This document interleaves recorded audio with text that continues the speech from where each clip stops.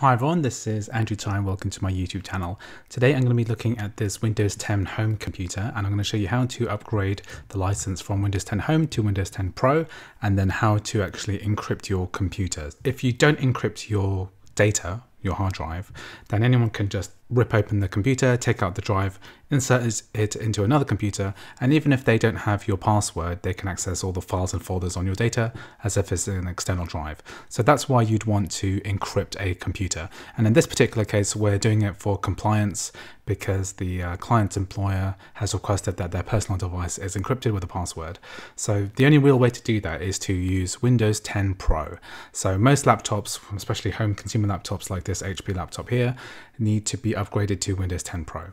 So the way to do this first is to go and acquire a Windows 10 Pro license. So um, you can get these from most reputable stores, but also there's also the option of going to the grey market and buying a key from say eBay. And those are often delivered instantly via email and they can cost a fraction of local license cost, which in the UK is often around £100. But if you find it on eBay, you probably get it for £5. The source of these grey market keys tend to be from other localizations, where the price of Windows 10 Pro and other software licenses are actually proportional to the income. But like an Indian key, for example, will actually work on these computers. It costs a fraction of what it would cost in a domestic shop in London, which would be about £100. In order to get to the upgrade settings, once you've got your key, you just go to the About Your PC section here. I can see here that I've actually done the upgrade already, but uh, to do the upgrade yourself, what you can do is just go to this section here, which is to change your product key and then you just click on here and then click change product key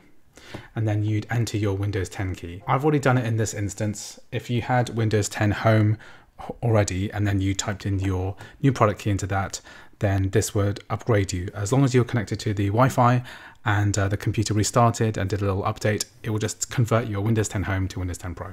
So that's all you need to do. Now the next step is just to encrypt your drive. So I'm going to open up File Explorer now. Most computers just have a single C drive here. So this contains the operating system and also the user data as well. So in order to encrypt the drive, all we need to do is to navigate to the File Explorer, go to the C drive and then right click on here.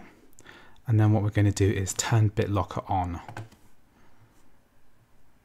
So what this will do is to check the requirements. So here it's asking us how we want to save our recovery key. So we can either save it to an Azure account, we can save it to a file, or we can print the recovery key. So I've, I've opted to print this particular recovery key. The recovery key is for if you want to access your data, but you don't have the password, we can use the recovery key to bypass any kind of uh, access restriction.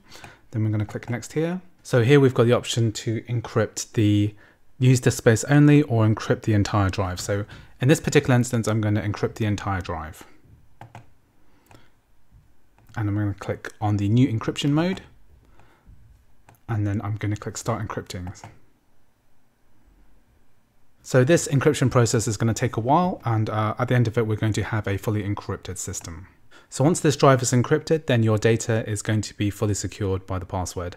So anyway, I hope you found this video useful. If you did, please like and subscribe and I'll see you in the next video.